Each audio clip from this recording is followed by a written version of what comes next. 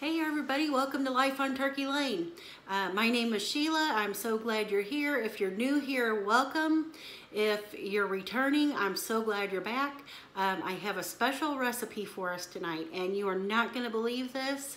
Um, even I don't know if I believe it, but it's a really simple recipe. So if, if you're a working mom or if you're somebody who's out of time and you don't have a whole lot of time to fix dinner, um, this recipe is going to make your life so much easier.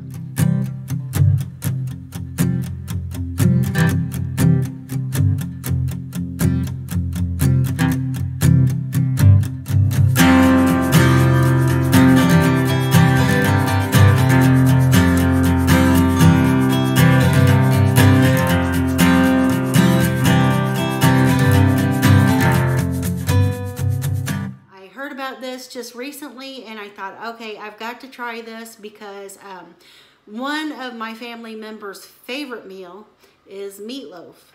And um, so tonight we are going to make a two ingredient meatloaf.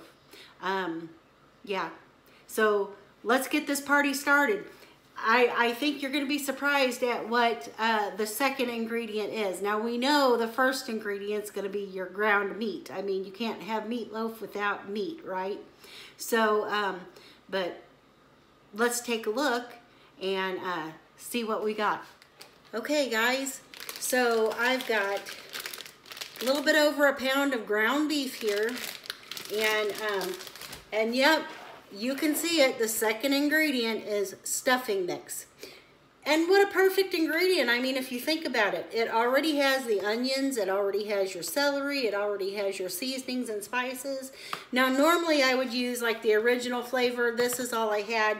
So tonight we're gonna use the sage flavor, but I think it's gonna be just fine. And uh, yeah, now normally when I make meatloaf, I would probably also add an egg. So that would technically make it three ingredients. Um, but the one I saw just called for um, the meat and the stuffing mix and just a little bit of water, which is not really considered an ingredient. That is basically free. It's a free thing, just like salt. Um, but we're not even going to really use salt because this has all the seasonings and spices you need. So super easy. I mean, other than the cook time, this should relatively take five minutes. And so I put my ground beef in the bowl. And now I'm just gonna open my seasoning mix. Now I will tell you, you know, I know I've mentioned in several of my videos lately that I've been eating a, a ketogenic diet or a low carb diet. So obviously this has some breadcrumbs. It's not really a low carb diet thing, but we're, we're gonna go ahead and try it and I'll probably have Andy give you a taste test tonight. Um, so he's gonna be our guinea pig. I'm sure he's gonna love that.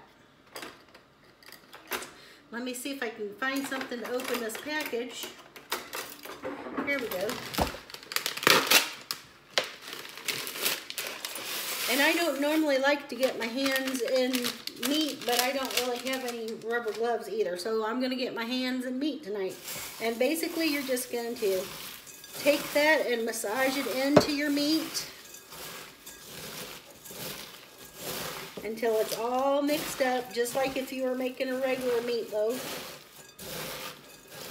Just get that all incorporated in there. Let me add just a little bit of water. Tiny bit of water. Not even, you know, maybe a half cup or so. And we're going to massage that in there.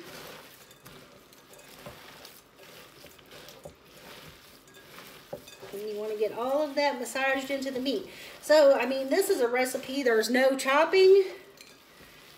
I mean, there's nothing, I, uh, no, like I said, a five minute quick mix up here.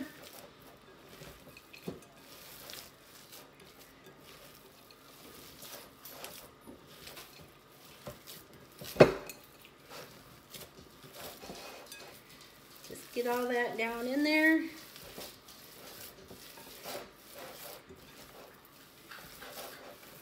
Now I will be making a topping for my meatloaf, so if you want to count that as extra ingredients, then you can tell me that I'm a liar and that this isn't a two ingredient meatloaf, but the, the meatloaf is two ingredients. So, but I will be making a traditional uh, ketchup sauce to bake on top of it at the end here. Um, so there we go. We have um, all of that stuffing mix incorporated into our meat. And now we're gonna put it in a pan. And I'm going to uh, preheat my oven to 350 degrees. I should have started that before I even started this and it'd be ready to go in there by now. So um, let me get my pan to put this in and we're gonna get this thing in the oven. Okay, so I've got my loaf pan here. It's called meatloaf, so it needs to go in a loaf pan, my opinion. And um, I've got some cooking spray. Now, you don't want to forget this uh, because it will stick to your pan. Um, I've got, I, I did go ahead and turn my oven on over here so it can be preheating. I'm just going to spray my pan here. All right. And we're going to put this meatloaf just right here in our pan.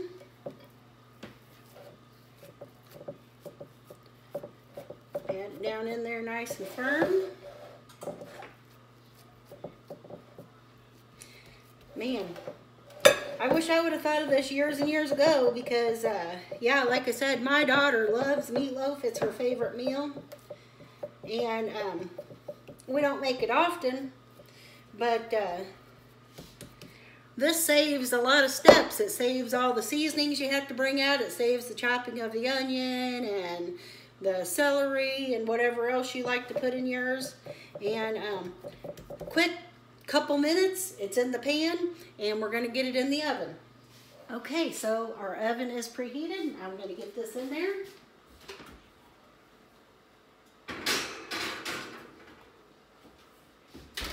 And we're gonna let that bake on uh, 350 for about an hour. So it's about 5.15 right now at about 6.15. We're gonna check on this and we're gonna get the um, We'll get the other sauce ready, just the sauce to go on top ready eh, maybe 10 minutes or so before it's done. So say about six o'clock, we'll come back in here and we'll get the sauce ready to go on top of it. Because um, I don't know about you, but meatloaf is no good if it don't have sauce on it. So uh, we'll come back and do that in just a little bit. Okay, the meatloaf is almost done and we're gonna make our sauce. We've got a two ingredient sauce for our two ingredient meatloaf. So let me show you what we got here and we're gonna get that sauce on our meatloaf and let it finish cooking. And then while we're at it, I'm gonna go ahead and show you, um, we're just gonna have instant mashed potatoes with our meatloaf tonight. And um, I know a lot of people would think, ah, instant mashed potatoes. Nobody loves instant mashed potatoes. They're gross. And yes, a lot of times they are gross. Um, but we're talking about a quick, easy supper here. And I'm going to show you how to make your instant mashed potatoes taste almost like real potatoes and have a really good flavor. So, so I just got a little bit of ketchup here, maybe a quarter of a cup, and I've got a little bit of brown sugar. And we're just going to mix that together until the brown sugar is dissolved.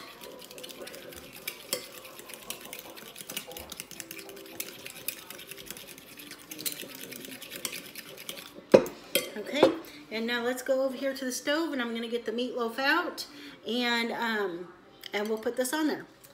Okay, now I've got my pan on the stove with a little bit of water in it for the instant mashed potatoes and I'm letting that get warmed up.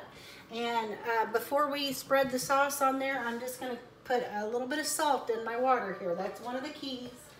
One of the keys to the best instant mashed potatoes is to make sure your water has plenty of salt. Okay, so I'm gonna do probably about a half teaspoon. I know that sounds like a lot, um, but it's not as much as you think. So um, now let's get this meatloaf out of the oven here.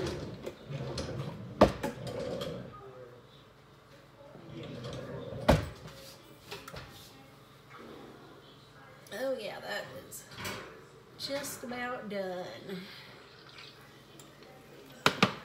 But yeah, it's looking real good. It's smelling real good. So I'm just gonna take my little baster brush here. And I'm just gonna baste my sauce on the top there.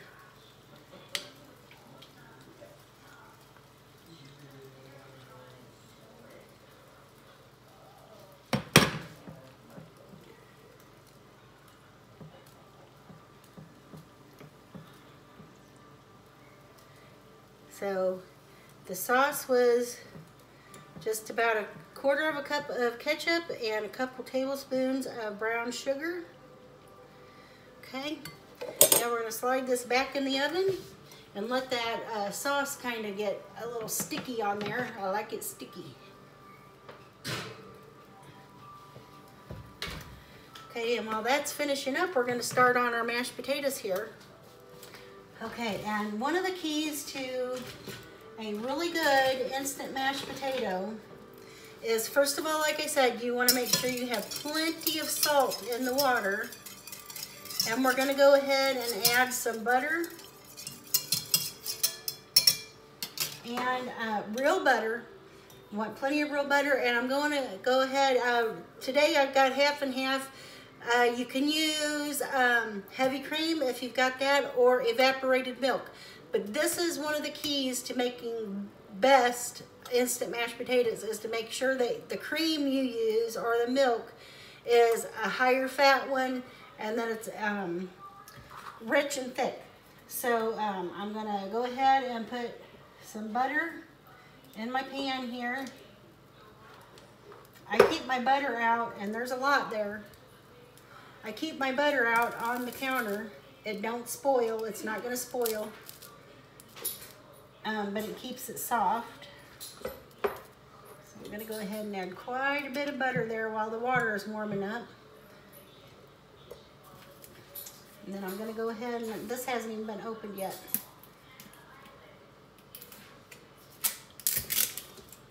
So if you would like to use instant mashed potatoes, but you always opt against it because, well, instant mashed potatoes taste gross. Um, like I said, here is your secret to making better instant mashed potatoes. Well, if I, I think I'm gonna have to have Andy open the, open the milk here. I'll be right back.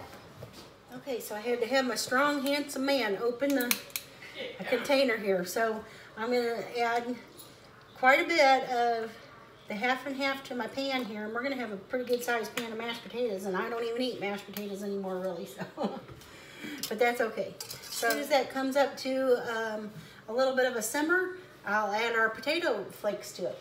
Okay, so the secret to good instant mashed potatoes, and I've just got the Aldi brand plain old mashed potatoes here, is to use plenty of salt in your water, real butter, and uh, quite a bit of it, and um, real like cream or half and half or even evaporated milk. Um, regular milk just doesn't cut it. Um, whole milk I guess would do okay, but your better bet is to go ahead and use cream or whatever. Now that this is getting ready to start boiling, we've got a froth here. I'm gonna go ahead and start pouring my uh, my potato flakes in, and I'm just gonna whisk them in.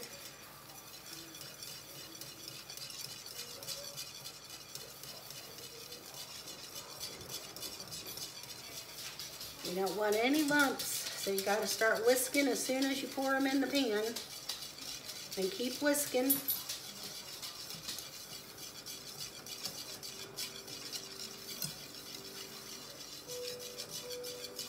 And don't worry, we're not done with the butter and the cream. Or the salt, that's just a good base. Okay, now let's get that out of the way.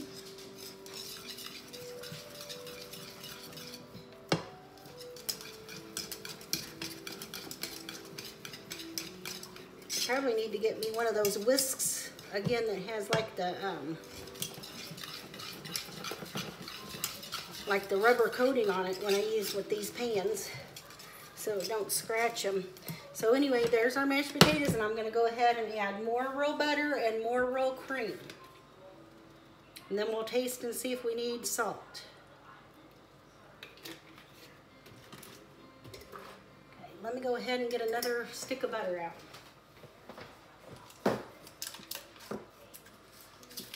Can't express enough that uh, now back years ago we used to use margarine. And uh, that's before I realized just how horrible margarine really is. So if you have the opportunity to buy real butter buy real butter.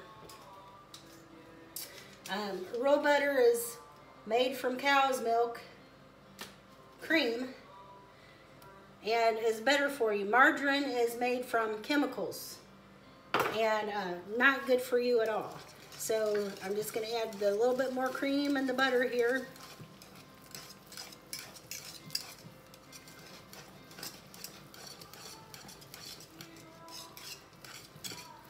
This gives you a little bit of an arm workout. Now I'm really not supposed to eat these, but I'm gonna give them a taste just so I know how much salt is in them and if I've got enough. So let me get a spoon. Okay, let's see.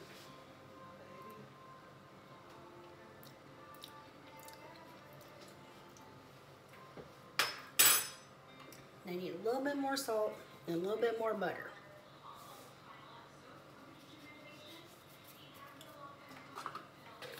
And I'm gonna go ahead and add some pepper now.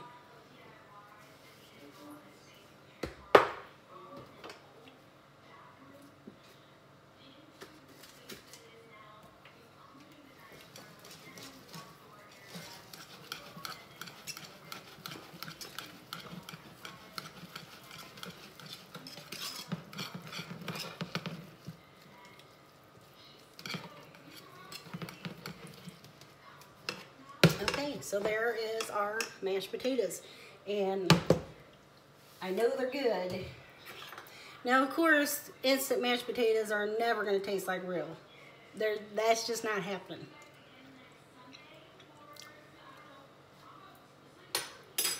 But you can get them to taste pretty good.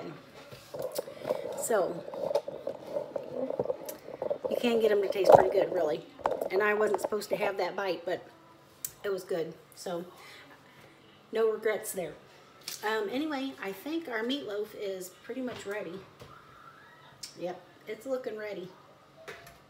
So let's grab that out of the oven.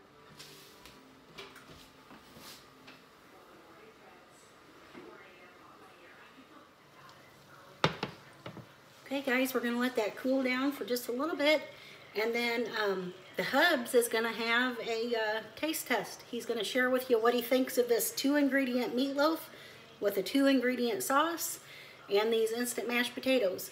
So I'll be back in a few.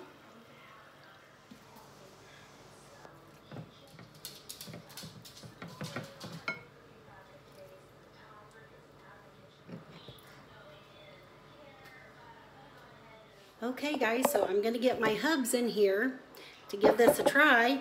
Um, looks really good. Delicious, in fact. Um, so, yeah, let's see what he thinks of this two ingredient meatloaf and these instant mashed potatoes that we've doctored up. And um, get an honest review because I know you see a lot of these cooking videos and everybody's like, oh yeah, this is so good. It's so yummy. I've, I've created a masterpiece. And you never know if they're telling the truth. So he's going to tell you the truth. If this sucks, we're going to know it. So this could be a real good win for all of you uh, crazy busy moms um, or people who maybe you're single and you live by yourself and you don't want to take a lot of time to, to do a major cooking, but you like meatloaf. So this may be a choice for you, but um, let's see. Come on over here, Hubby Dubbies. I can't tell you, it sucks. You're a legal secretary. That's all you've been doing for the last 20 years. I'm not supposed to say that on TV, oh, right? Oh, yeah. Or, you know. Okay, so he's going to tell you what he thinks. I know that it had to have ketchup on it or I wouldn't have.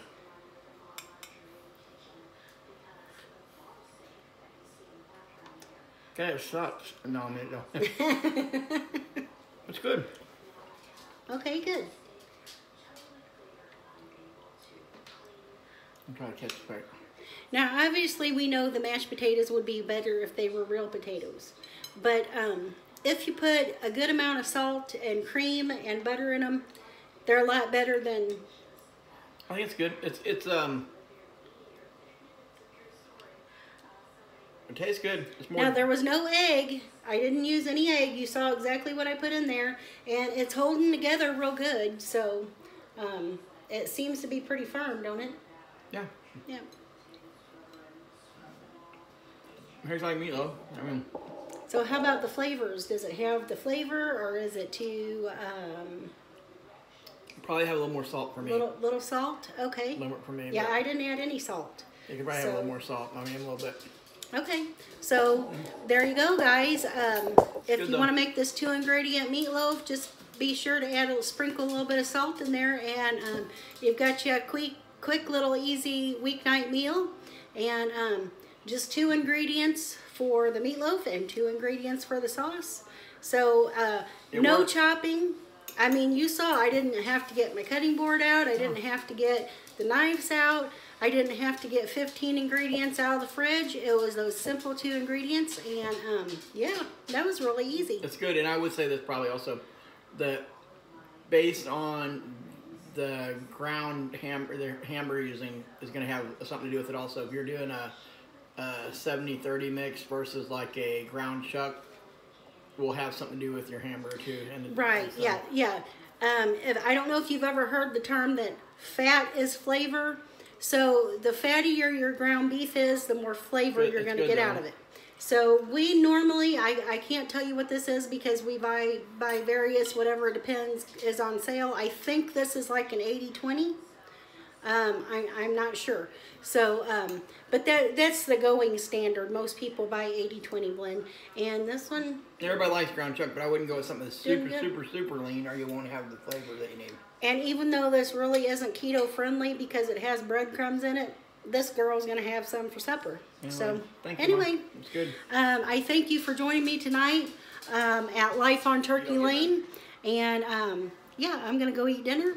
Uh, I'm glad you were here. I hope you'll try this recipe. See if your family likes it when you're it's a spur of the moment kind of night or just whatever. And um, yeah, I'll see you next time, guys. Have a blessed night. Bye. Okay, so I just had to get back on here and share my review of the two ingredient meatloaf.